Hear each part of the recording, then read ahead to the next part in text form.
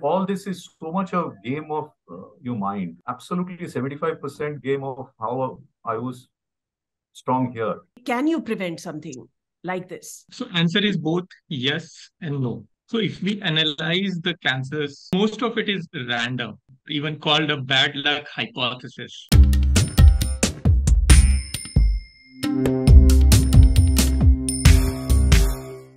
This is Zen Brain, where we have conversations about stuff that we have difficulty talking about, from becoming more self aware, understanding our patterns of behavior, understanding the science behind stress, trauma, mental health issues, bullying, depression, anxiety, OCD. We've also talked about addictions, mental illnesses, and disorders. There are about 100 videos for you to watch, and you can watch these videos by going to zenbrain.com or visiting our YouTube channel. And now you can also listen to our podcasts on Spotify. Now, today we're discussing what I've avoided talking about for many, many years, which is cancer. I lost my only brother to a very rare case of cancer a few years ago. And there were no major symptoms really. But the diagnosis led straight to stage 4 cancer, which had already spread, or in medical terms, metastasized.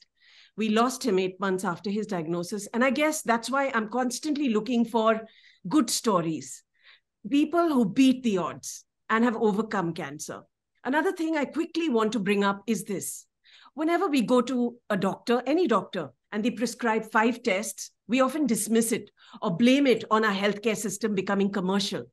But going to a good doctor or hospital early can save your life or the life of your loved one. So do not ignore symptoms. And the reason we are discussing these topics and will continue to address it is to be able to, in our own little way, spread awareness about stuff that we ignore, sometimes deliberately, which we shouldn't. Main purpose, however, is to normalize these conversations around things that we don't want to talk about, especially cancer. Now, Rajneesh Singh, you can see him here, in July of 2021, had a few symptoms, went to a doctor only to be diagnosed with stage 4 colon cancer. Now, his cancer had metastasized or spread to the liver, where they found a spot. He underwent a successful surgery where his tumor was re removed su successfully, incidentally, by Dr. Agrawal, who's also here with us. And since then, Rajneesh has undergone chemotherapy and was then put on oral chemomeds, which he's completed. And he's also written a book called The Good Patient that I request you to read.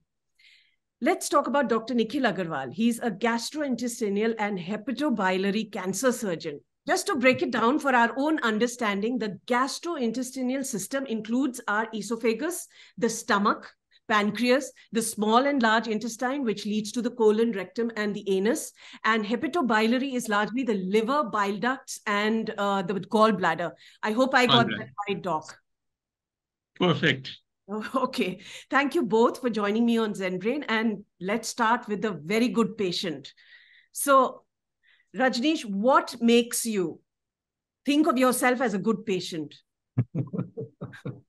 yeah, so I, I think as a patient, uh, there is a mindset and an attitude that you need to carry. Uh, and if you are suddenly uh, hit with a, a, disease like a cancer, um, the very normal thing to expect is that you know you'll get nervous and uh, you know um, some people depression sets in very small very quickly um, those were the last things on my mind when when the whole thing was told to me. Um, and I, I, for a minute i had smiled and i asked the doctor dr vikas singla at, at max hospital. I said are you sure that this is happening to me? You know and for a minute i thought a guy like me who's like you know happy with life and uh, you know there's so much of excitement enthusiasm all around i thought how could this happen to me you know uh, but then uh, you know the important point is how quickly you accept the news and and then you process it and, and then you figure out okay uh, so if this is the news uh, then quickly you move on to the next stage. And so I asked Dr. Singla, what's the next stage? And that's when I got referred to Dr. Agrawal. It, it's not about getting too bogged down with a news like that. If I may call in your terminology, breaking news. so, you know, it, it was definitely a breaking news in my life. And uh, so, like I said, I mean, it, it, was the way one was approaching it became very critical. Mm-hmm. Um, and, and then a lot of thoughts came about, of course, I remembered my father who also had passed away due to cancer only mm-hmm. in 2000. So naturally, those things flashed in my mind. And I asked Dr. Agrawal also, is this hereditary? And he had quickly, you know, dismissed it. This, these are not uh, hereditary at all. And, you know, if things like these have to happen, they will happen. Mm-hmm. You know, so uh, that was where we were, Shruti. And uh, I think by the time I had reached uh, the stage where I was getting uh, admitted and just before the surgery day, at night I clicked, my wife clicked this lovely picture, my me sitting on the bed and beaming away, you know. And that night I broke the news on social media and half my friends thought I was joking. But there I was sitting in a patient attire. And in the morning, Dr. Agrawal was to do the surgery on, on me. So, um, so I think that smile itself, a lot of people have said this, the good patient, the cover itself is so much of positivity yeah. that you get to immediately figure out that you know there is a different way of tackling such uh, you know things in your life? Dr agrawal by the time patients come to you it's pretty much you know surgery stage. Rajneesh i mean yes he had a major symptom in the sense that he had blood in his stool. How can you prevent something like this from happening? Can you prevent something like this? So answer is both yes and no. So if we analyze the cancers which uh, we get, so most of it is random, even called a bad luck hypothesis, right? And then there are risk factors. So like say for an example, since we're talking about colon cancer here, so diet, right? Western diet, diet which is uh, rich in say fat and carb, uh, lack of exercise, smoking, alcohol, obesity, these are some of the risk factors. So these are all you can see modifiable risk factors. You can control your diet, you can do regular exercise, you can reduce your weight. And then there are some non-modifiable risk factors. Say, for an example, your uh, uh, which place you belong to, which uh, race you belong to, whether your father had colon cancer or your first degree relative had colon cancer. And these are non-modifiable risk factors. Now, if you have these risk factors, they increase your probability of getting any cancer. Right? It doesn't mean that you will get colon cancer. Mm-hmm. Okay. So, say uh, a better analogy which I uh, use to explain it to patient is that, uh, or even healthy individuals, is that suppose you're driving on a highway, and if you drive a, a, a little fast and maybe a little rash, your chances of landing up in an accident is higher. But if you drive very carefully, it doesn't mean that you will not get accident. The probability will be low, right? So these are the risk factors. But like, as I said, the probability will be low. It doesn't mean probability will be zero. So even if you do not have any risk factors, you might get uh, any cancer. And that uh, risk probably, I mean, depending on the cancer types and all that, is approximately 50%. So half of the cancers are just randomness. You just get hit by it. Mm-hmm. So, yes, we can prevent if we adopt a healthy lifestyle, a good lifestyle. We can decrease our risk, but we cannot totally do away with it. Every time you have a symptom uh, and you look up Google, it leads you directly to cancer. That is also fear mongering, which we do not want to do. What are the symptoms that you need to worry about? We, as clinicians or even uh, health organizations, will want to create awareness about the symptoms.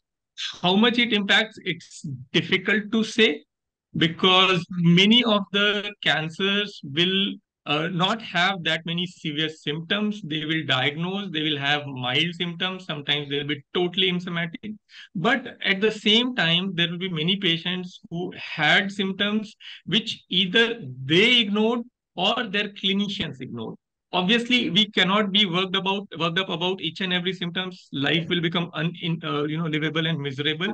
So generally, I say you should know about the symptoms, and if they persist, and they don't go away. And there are some symptoms which are more alarming, say weight loss.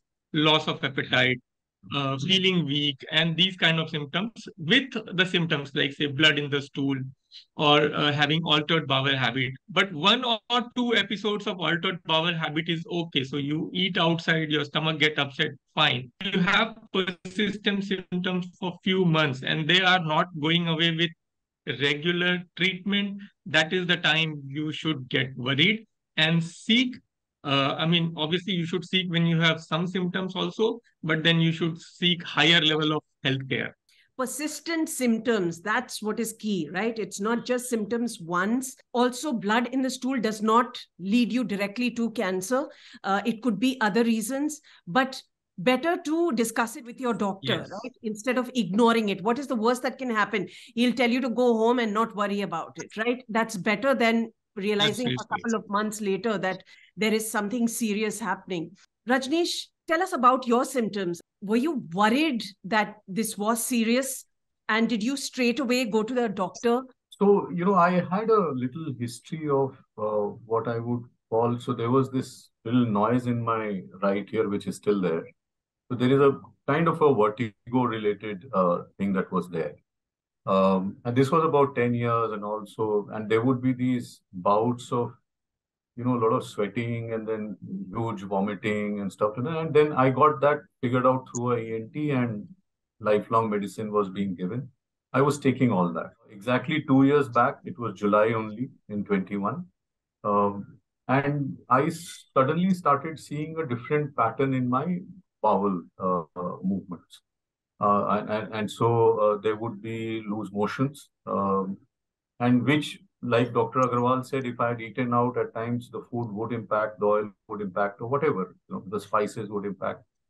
But like he correctly said, it persisted, right?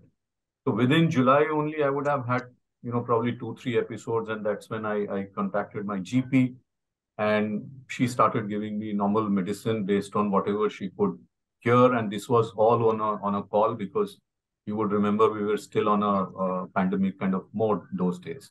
Mm-hmm. So I had not met her in person. So this was absolutely happening on on calls and things like that. And about mid of July is when I had then these two three bouts of severe vomiting, right? And the vomiting was so severe, I thought you know I'll just collapse uh, in in the loo. Uh, it was that bad. Um, and so again, I told my GP that this is happening now. So she changed the medicine. Then she said, okay, let's do a blood test. And, and the blood test happened. I think she was broadly then still okay. She prescribed, changed some medicines and things like that. And then we continued. Uh, I remember very vividly, 23rd July, I was at a dinner in, in Gurgaon. And I come back uh, and I didn't feel like eating that day. Uh, so I had very light meal at the party and I just came back and I think in about two, three days time, I noticed uh, blood in the stool. Now that is when I again called up my GP and she said, look, this case is now beyond me. And you got to immediately meet a gastro specialist. I simply picked up Google and just, uh, you know, typed nearest uh, gastro specialist and Max showed up right at the top because we live in Saket. Mm-hmm. And this was Dr. Vikas Singla. So uh, and so by 28 July, I was sitting in front of Dr. Vikas. So in the entire month of July, around this time till about 28, so many episodes had happened. Hmm. So I, I want to talk about this a little bit. You know, hmm. we always, as Indians, want referrals, want hmm. recommendations of doctors but yeah. you did not know a gastro. You went there and you know everything was everything so far has worked out pretty decent. Yeah. I, I want both your opinions on this. No so i, I think look uh, it's not that uh, at least for me it was the first time going to a max for a problem like this. We had always got good experience of not only the doctors the entire team. My sister is a doctor. She's in us so i did connect with her that this is the name i've got and i'm just going. She said yeah yeah please go first meet and then you know if you get the comfort factor we take it forward from there mm-hmm. and my first interaction with dr singla itself was so interesting that i just decided that you know uh, this is the place and this is the person I'll, I'll take things forward with and trust me it worked so beautifully through and through all the three doctors i keep telling people if you if you if you start taking too many opinions right. you'll get lost and, and and you are eating away the time, which Right. which probably you don't have much. So I think it is important that you move fast. So maybe one or two referrals is good, but you got to take quick, swift action. Dr. Agrawal, let me come to you. What is your advice to patients, even if they don't know doctors? So difficult question. See, expertise is not distributed evenly. Two, the problem is that uh, uh, we don't have good credentialing mechanisms in our country. Like, say, for an example, I am a GI HPB oncosurgeon. So uh, there is no credentialing per se. We have degrees, but the quality of education in each place differs. So you can have, you know, different doctors with very good training, moderate training, and a training where they didn't get exposed to much in their training. And post that, what kind of experiences they've accumulated, and plus, obviously, the individual brilliance and uh, commitment to their patients and all that. This all differs. Now, obviously, finding out the right person is very important for your treatment. And uh, obviously, uh, going to many doctors and seeking many opinion is not uh, worthwhile because you get more confused. Medicine is not like uh, maths. So two plus two, it never four. So you will not get exactly the same opinion from everywhere. And choosing which is the exact right opinion is difficult because sometimes we even don't know. But at the same time, we should be very mindful of the fact that obviously credentials, experience, and the infrastructure should be okay. So that much background check should be there. When a patient is already coming to you, like it, it's that stage where he or she is already ready for surgery, right?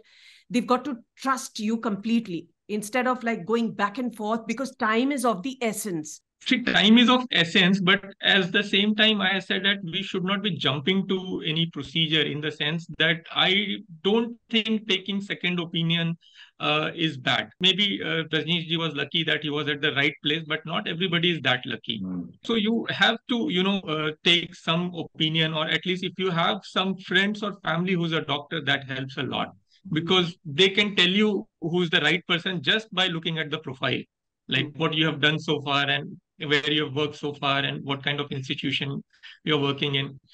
So that is important, right? Uh, and uh, as far as delay is concerned, sometimes it's the other way around. Patients will come and say, I want it done quickly. I say it's not, we have to do the due diligence. We have to complete our staging workup.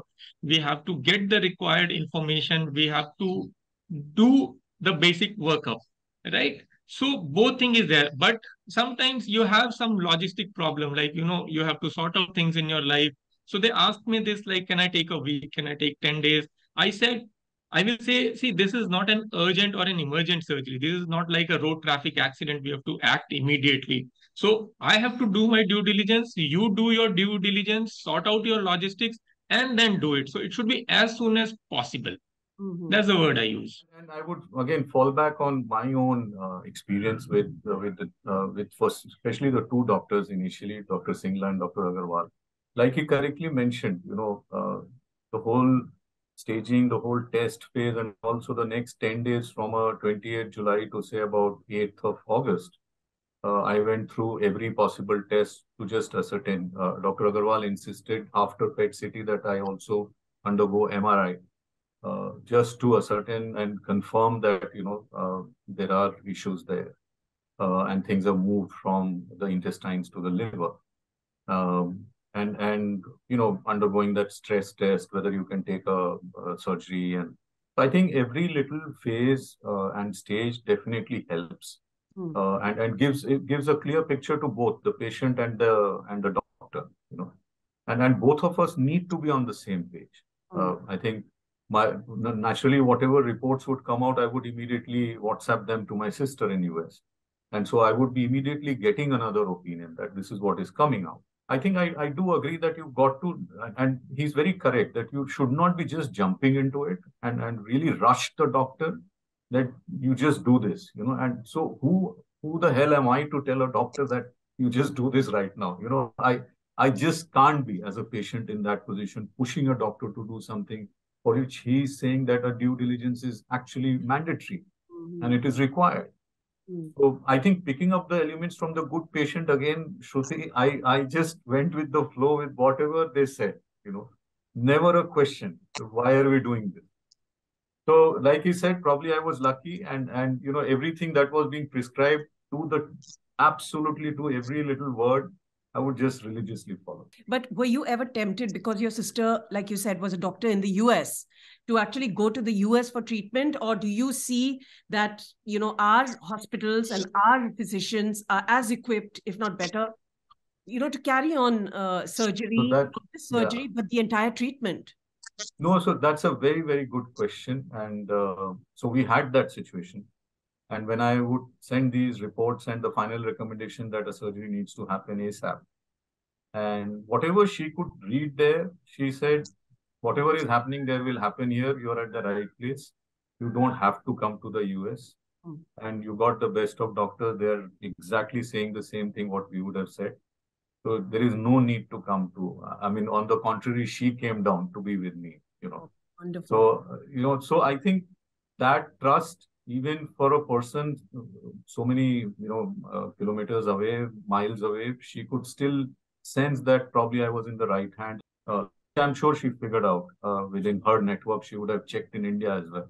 Right, uh, right. so i'm sure uh, coming from her naturally you know uh, there was an absolute decision that you know there's no point going to us i could have gone. She lives in new york so everything yeah. was absolutely a simple thing. You know i could have just flown out but we just stayed put and you know things worked out that's interesting because Dr. Agrawal, I'd like to ask you, especially where cancer is concerned and in the GI tract or, uh, you know, the liver that you handle, uh, do you think the protocols are pretty much similar all around the world, right? And are we in India at par?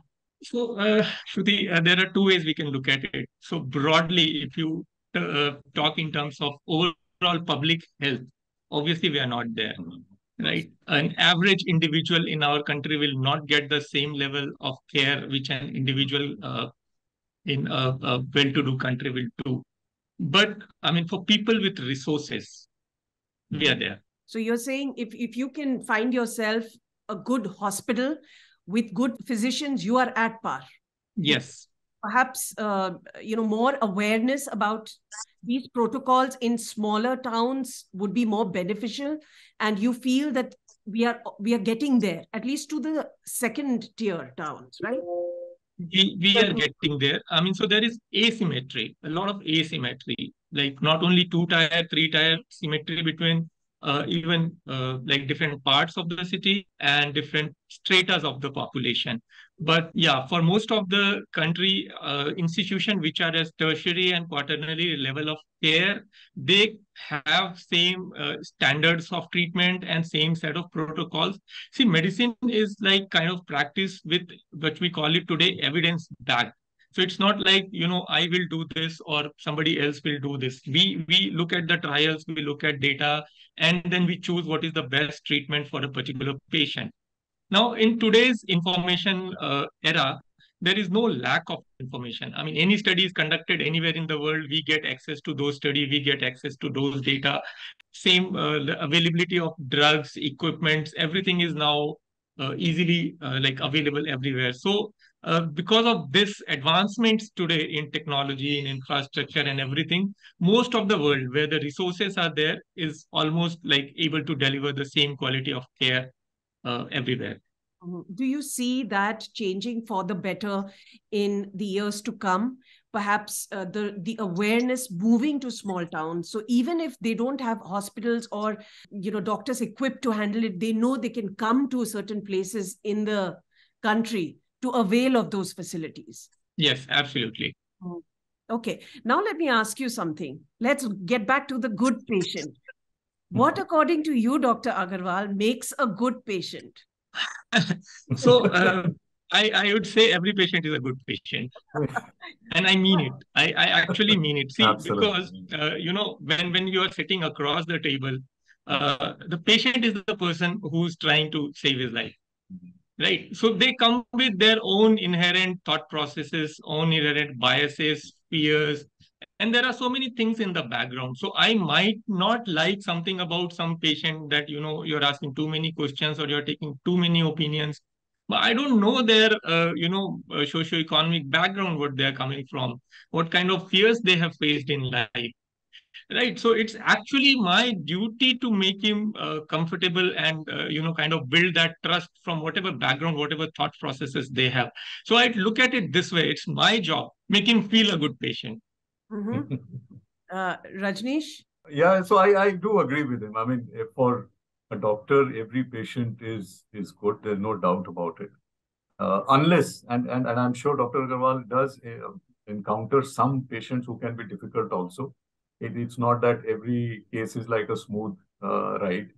Um, I, and I have seen some patients really, you know, uh, on the side really tell me, but, you know, why are you talking so much, so nice about Max and all? I have had this experience, that experience. So there are patients who have had their own set of experiences. And so they've arrived at XYZ conclusion. If you start thinking too much about the problem, the more you indulge in it, that is where, you know, then you start losing control of the whole situation. I think it is important to uh, submit yourself to an expert and then just follow their instruction, mm-hmm. right? Um, that is where, uh, you know, when I started journaling, I think that is where the title came in that, you know, I've been such a wonderful guy, just walking in exactly on the time, waiting for an appointment, never delayed, you know, uh, and going by whatever advice, prescriptions are being given till date. You know, so I, I just follow it like a absolute direction that is being given. Um, and I think the other thing that is that counts for me as the good patient is the entire, like I said, very at the beginning, the, the mindset that you have. Because the, all this is so much a game of uh, your mind, you know, how strong you keep yourself mentally. Uh, and, and you talked about the whole mental wellness and all. For me, the entire uh, episode has been a absolutely 75% game of how I was strong here. Though more mentally was uh, I was really in control of myself, it was easy to handle the whole situation. But very quickly, tell us what exactly is this mental strength? Is it overcoming your personal fear? You know, it, it's also Shruti. I mean, I'm also a human. Uh, it's not that there was no fear. Uh, there are multiple layers to the fear. Uh, there's that immediate family. So you've got your wife, your son, mm-hmm. Uh, you got the extended family, then siblings out there and then, of course, because I run my own HR firm, so being at the head of the firm, that's the other responsibility suddenly that strikes you know. So what happens to all these three bunch of, and then you have this large set of friends, right? So, so I think that one needs to be mindful that there is that whole support system around you, which needs to stay strong. And so if I weaken, they will also start crumbling. And, so for me, that was the last thing I would want to convey to everybody. And that's why probably I went public also. I, I put it on Facebook and just to give a message that, you know, there is something that has happened, but I'm in, in control of it. You know, rather than going into a shell and cutting off from the world and people suddenly figuring out Rajneesh has vanished and what has happened, something has happened. You know, you guys go and check with him. So I just did it the other way around. And I said, let me talk about it. You know, and and and so let me and so the more, and, and like you correctly mentioned when we initially spoke that was I gathering sympathy out there? Not at all. You know, I, it, it was just about getting strength from everyone around and giving back the strength to everybody. So I think the mental strength definitely is is like I've been saying, it is in your control. You you want to stay solidly focused on what needs to be addressed. I don't know, at times I might sound very corporate kind of a person, you know, that this was a goal to be achieved and, and so you just went into in a, in a execution mode and you just worked with the doctors and ensured that everything was sorted. Like any situation um, you got to stay strong uh, and and I, I use the word of called self messaging what kind of message you are giving yourself? Forget what the world is telling you. I think that self messaging is is very very important. Hmm. uh, so Rajneesh, first of all, I uh, would would never think that uh, you are garnering pity. First of all, I would never think that. Uh, but it is important also to be able to process, and every individual has their own way of processing what they, have, they are going through currently, right?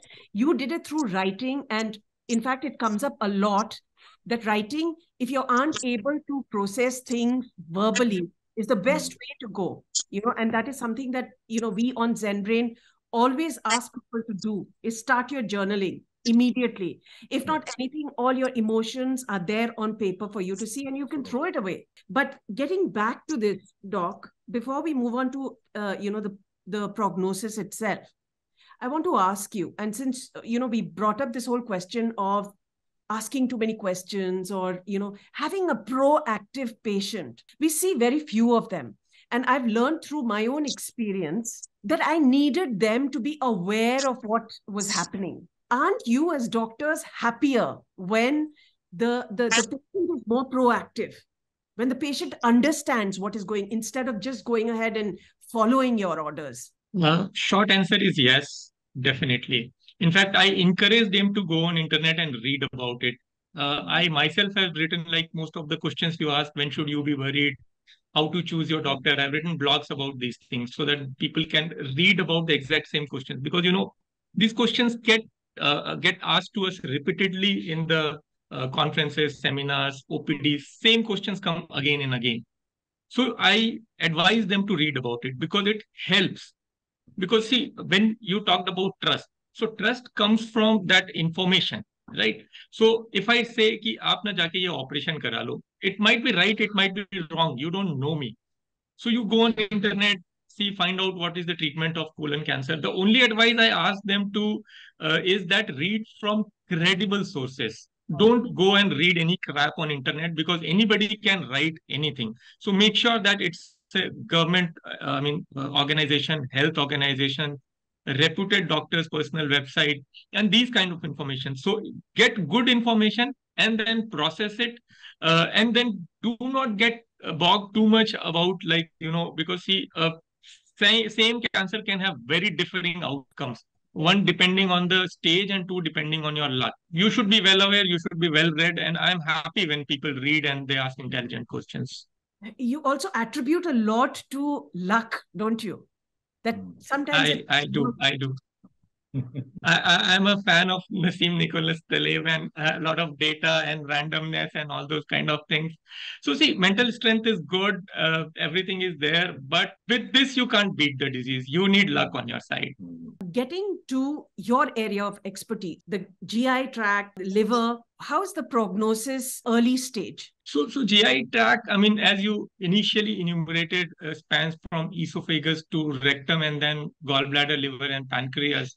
So all of them are different disease altogether. In terms of prognosis, we can't put them in a bucket. They're, they're totally different. Esophagus is totally different from colon and colon is totally different from rectum. So I, I don't think I can sum them up in any way. They're totally different. Maybe I can tell you about colorectal cancer because this is one which we're talking about here. Colorectal cancer are actually, you know, one of the good cancers. I mean, cancers can never be good, but relatively good cancers we treat of, of the all gastrointestinal cancer. And for all cancers, the prognosis, the outcome is stays dependent. Right. So earlier you start treating it, earlier you detect it, the better is the outcome. So stage one will have best outcomes, stage two will have slightly worse outcome, stage three will have more worse outcome, and stage four will have the worst outcome. So these are four buckets, one, two, three, four. But these buckets are also very heterogeneous. Say, like, say, for an example, when we talk stage four. So again, uh, if you, you know, divide 100 into four buckets, so the fourth bucket will be 75 to 100. So there is the 75 there also and 100 there also. So we do bucket them, but they are all heterogeneous category with different outcome from a patient to patient. But broadly speaking, you can remember a number like cure rate. Five-year survival rate is the metric we use as a cure rate. Like if you don't get uh, cancer back in say five years or you survive for five years, we generally broadly considers you cured because after that the failure rates are low. Mm-hmm. So stage one colorectal cancer, that number is around 90 uh, two, it's around 80, three, it's around 70, and for stage four, it drops around 50, 60. Mm-hmm. So that's the ballpark numbers you can keep. And since you rely on data, let me ask you this. Uh, for the for the good patients who make it, what do you see common? What are they doing no, right? So, no, you can't do anything, Shruti. Actually, trust me, you can't do anything. if you if you take it well, if you are happy, it's good for you. But actually, you can't do anything apart from obviously, if you don't follow the treatment protocols, your outcome is going to be bad. If you do something bad with your life, you don't adopt a healthy lifestyle. But there's nothing which you can do which will make commit. See, it's actually, you know, like, let me give you another perspective at it. So if you say, if you do this, the cancer will not come. Or if somebody says, I did this and I beat cancer. So are you trying to suggest people who didn't beat cancer, it was their fault? Mm. Are you putting the onus on them? No. That's wrong. They were also doing right. Yes. They were also doing right. Absolutely. No, that's very well put, um, I must say. And uh, we don't at any stage in this discussion want anyone to feel guilty about, first of all, getting Absolutely. cancer, right? Because, uh, like you said, you know, it's it's also a, it, we we all live with cancer cells. All of us do, right? It's a question yes. of some increasing uh, in in you know more than the others and uh, you know just like covid covid affected us differently you know other yes affect us differently and let's never forget that and uh, let's yes. be compassionate overall because you know the tendency is always and and i know i went through this uh, quite a lot um, why don't you exercise why don't you do this why don't you do that you know you know those things do come up but the other thing I wanted to discuss was fear, right? When you actually see a, a loved member going through something, there is absolute fear in any health aspects, any disease, any illness, any symptoms. How does one get over that fear? Not just for the patient, but also caregivers and loved ones around? So different people will handle it differently. Some people will kind of intellectualize it. Some people will have a lot of social support. They will have a lot of people around them. And uh, I, I don't think I can tell you exactly how to get over fear because all of us are humans. But yes, as as Rajneesh said, talking about it helps. Mm-hmm. It, it does help. I mean, uh, most of the time, actually, when patients come to us in OPD, in follow up, when we do the round, they just come to talk, you know. Mm. They, they are not uh, seeking most of the time medical advice.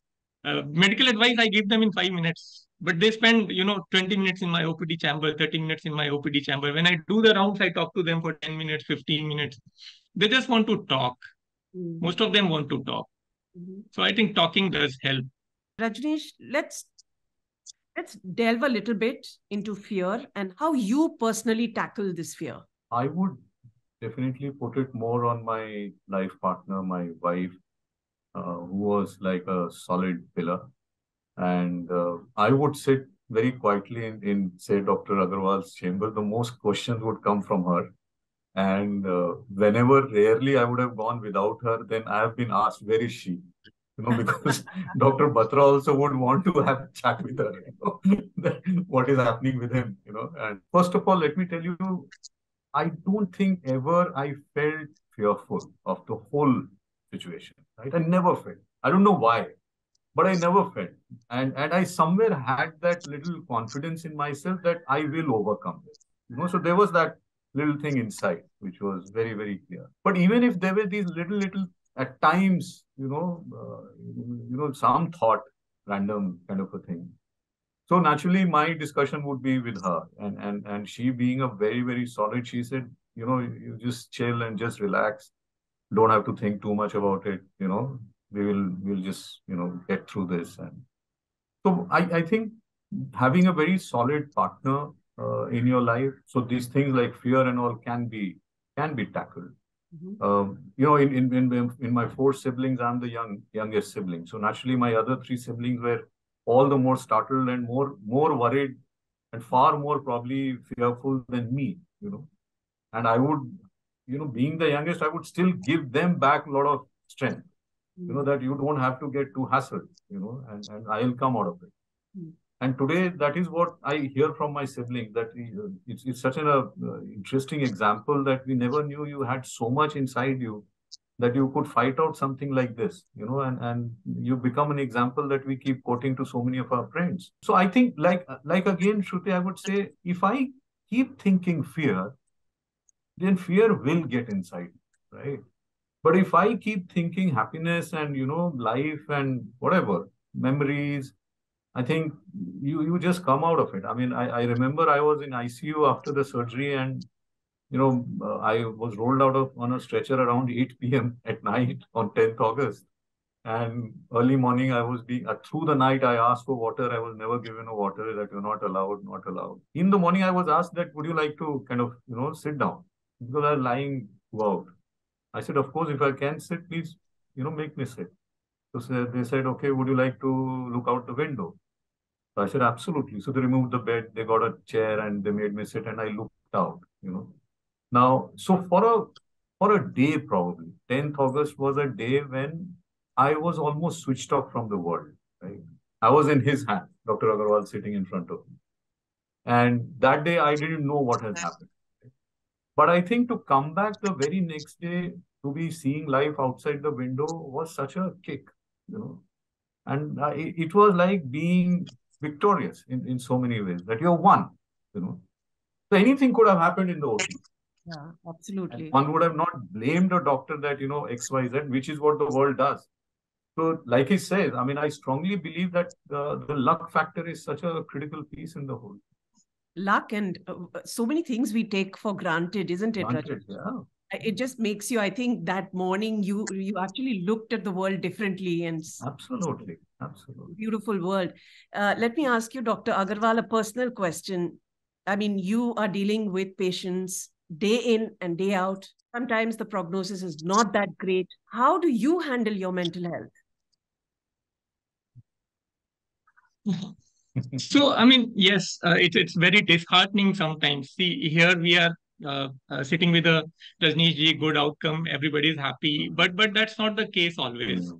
Sometimes we have to break the bad news also. So some patients are not operable when we see them. Uh, but kind of uh, you have to dissociate from it at some point of time. So probably coming home is one such landmark piece for us. Like when we are out of the hospital, when we are home, it's not that we forget everything. All the patients who are in the hospital, we will have like all the data about them in our phones. Sometimes we'll get calls also. But kind of you have to dissociate from all these things for a while and go back to your normal life. Mm-hmm. So so that's the only way probably you can uh, handle it. Mm-hmm. And obviously, with experience and with uh, initially you get bogged down by so many things, but with uh, you know you accept humility, you can outcome is not your hand. So it's basically the humility, the understanding that you don't control everything. There are a lot of random factors everywhere, and yes, you have to keep questioning your process at every every moment. That whether something can be done better, whether something can be done, you know, more in a better way. That these are the questions you keep asking and then probably you can sleep peacefully. Mm-hmm. but that's my other thing doc. Uh, can you really switch off? Because i see doctors constantly thinking about their patients the process what they can do better uh, how they should tackle things. So how do you switch off like what is your switch off activity so reading helps uh, obviously as i said home kids wife that does help and uh, I, I don't watch TVs and all that. Like videos are not my this thing. But yeah, reading and then doing your work, data, reading, even like uh, we read non-medical things, medical things. Uh, for every problem, like when you see a case, if you don't understand some aspect of this, you go back to the drawing board, read about it, so all these things, all these activities, they do help us disconnect from everything. While we are reading, we are thinking about the patient, but in a different way. Like it's a process-oriented thing. So you don't get bogged down by emotions. You rather see what's best. So you said you didn't watch videos, but we are going to have to make you watch this video, right? no, and, and Shruti, let, let me add here. When when Dr. Agrawal's uh, name came up that I'm going to consult him, I did go to Google again and I checked out. He had he has these wonderful videos. Yes, I've seen them. Colon. You know, I have seen them. So I saw them, and then the confidence even grew. So he he he has done videos. So you know that's See, see, doc. I don't watch you one of those. and you know, one of the reasons why I like to have these conversations and not get into too much of medical jargon is also to show hmm. everyone that you are also, at the end of the day, a human being, just like all of us. You know, you do go through Absolutely. your struggles and and the fact that you need to break this news to uh, to your patients day in and day out so it can't be easy and i think we also need to empathize. So, you know, before we really end, what do we need to keep in mind to stay away from people like you? adopt a healthy lifestyle. Yeah. Exercise, eat well, sleep well, maintain a healthy weight, don't indulge in smoking, don't indulge in drinking. So that's all we can do. We can adopt a healthy lifestyle, and that helps a lot. Like in terms of cancer, in terms of cardiovascular diseases, in terms of diabetes, and like longevity, if we talk about. So adopting a lifestyle, it helps. Apart from that, we actually cannot do much. So, I mean, if somebody is telling you that, you know, eat this thing or do something specific or maybe do this, uh, this specific medicines, no, there are unfortunately no uh, magic bullets. But adopting a very healthy lifestyle, and which we all know, which we all know, it's not that there is some uh, some gaps there. But Doc, here I want to ask you, when we and and on Zen Brain, this is what we keep telling everybody you've got to exercise whether it is walking whether it is doing a workout yoga whatever pick something of your choice but you've got to do it just like you eat a meal or you brush your teeth you've got to exercise. But i want to ask your opinion.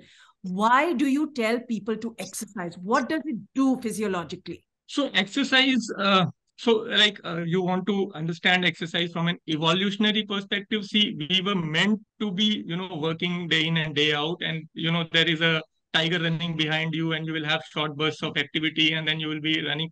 So that's how we have evolved. Now we have put ourselves into a position where most of us have sedentary lifestyle. You're sitting on your chair for most of the day. You're working you're sleeping. And there is no dearth of like you know from a resource constrained environment we have become into a too much resourceful environment where you have to you know uh, stay away from uh, not sleeping or not uh, sitting or not eating. So exercise will you know make your muscles work make your heart work. Uh, do a lot of activities in terms of you know generating breaking down muscle uh, regenerating them, breaking down glucose, regenerating it, uh, pumping your heart, increasing your circulation, and a number of changes which happen along with it. So exercise helps, and the whole process will result in improving your all outcomes, cardiovascular, your uh, cancer, or you look at any outcome, it improves. And it's not necessary that you follow a particular pattern of exercise. Any exercise is good. Five minutes, fine. Two days a week, fine. Weekend warriors, fine. Very consistent, fine. So it has been proved with data. I mean, people have studied all the patterns which I'm talking about in studies, compared them. So there are people who will, you know, exercise uh, for two days or let's say one hour, and there are people who will do 10, 15 minutes every day. Everything is good, right? So exercise helps a lot. It does. So exercise, any exercise is good, and it's backed by data and nutrition also let me get your perspective on this. Now a lot of people are going vegan. Uh, a lot of people uh, talk about eating more leafy vegetables and and lots of salads and lots of raw food. Where are you on that? So see nutrition probably as a science is very difficult because see when you say science like how things work in our field is that you have two groups of people and you do one particular thing to one group of people and one particular thing to one uh, group of people and then try and compare the outcome and say this turned out to be better.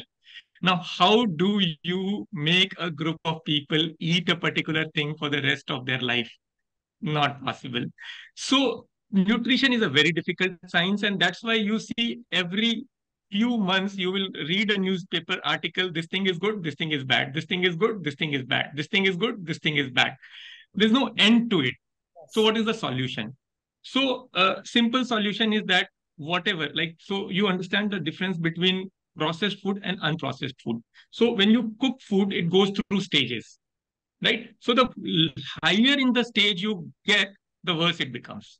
So if you can you know take out something out of a packet and eat it this is the worst okay? So second thing is that uh, you see what has evolved through centuries so, you know, if some company is coming up with some superfood packed in a, you know, packet and says that, you know, we've developed, this is very good, possibly not. You will find the adverse effects of it in few years of time, right? So whatever has evolved through centuries. So if you look at any traditional diet in any culture, be it Indian, be it Mediterranean, be it African, all traditional diets are good. So what you had been eating for centuries in uh, earliest form of processing, that's generally good obviously fat is not bad there was a time when you, people used to say fat is bad. So moderate amounts of fat is not bad. Moderate amounts of carb is not bad. Protein obviously is good, but if you don't overdo it, sugar is bad. Broadly speaking, whatever you, you know you are comfortable eating, what is the normal staple diet in your family, and if it is unprocessed and what you have been eating for centuries, that's good food. I just want to add one thing that when I'd gone to a nutritionist a couple of years ago, she said every time you look at any food, ask yourself this question Did your grandmother eat this? And if she did, absolutely. Yes, you should go ahead. I would agree with that. Yeah. Last thoughts, Rajneesh. What is it that you advise now for people to become healthier? What what is what are the things that you want them to do? Yeah, so apart from what has been discussed already, uh, I think and one thing that I've always believed in travel a lot, um, explore different cultures, explore different food, and then the more you do it, and India itself has so much to offer.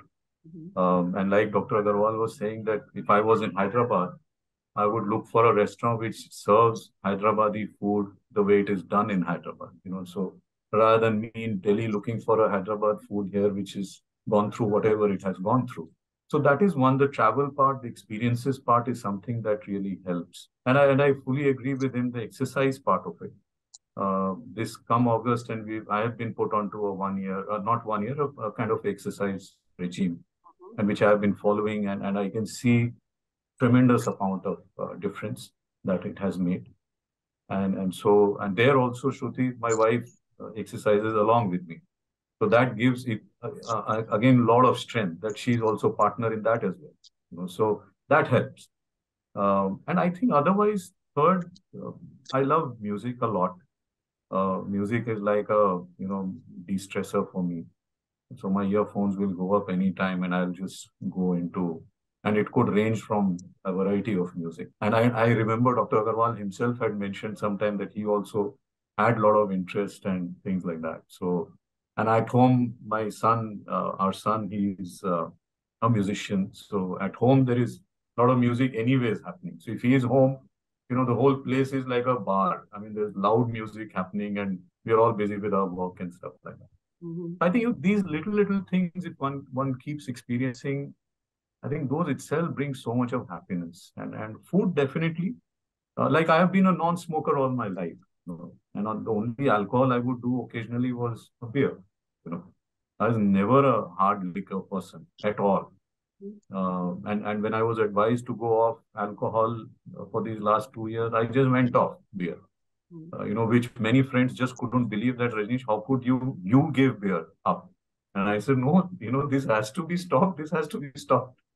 I think the other big challenge which Dr. Agrawal mentioned is my still kind of hook on sugar. sugar is something that I need to figure out how to, you know, wean myself away from it. So that is something that I keep debating. When do I strike this one, you know, off? So let's see wonderful takeaways today. Uh, we'd like to thank uh, Dr. Agrawal, first of all, to, for taking this precious time to be with us, really breaking down medical jargon for us so that we understand it better. And uh, I, I think you would agree when I say that no matter what the diagnosis, let us keep moving forward with the most positive mindset and um, let try and live every day because life is unpredictable. Rajneesh, I started your book where you start your uh, entire journey by saying that it was your dream to live in a hospital. I mean, be very careful what you wish for. Not that was my bucket list. Yeah. Bucket list item. Yeah. It's a terrible bucket list to have. we are going to be watching your journey onward and we are rooting for you we want you back Thank to you. Thank you. what are the things that we can do uh, going forward, what other patients can learn from you. And uh, we only wish you the very best. So thank you, gentlemen, for being here with me on Zen Brain. Thank you very much. Thank you very much. Absolute pleasure. Thank you so much. And thank you bye for bye. your service, Same Dr. Here. Thank you very much for your service. Bye. Bye. Thank you. Bye. Bye. bye.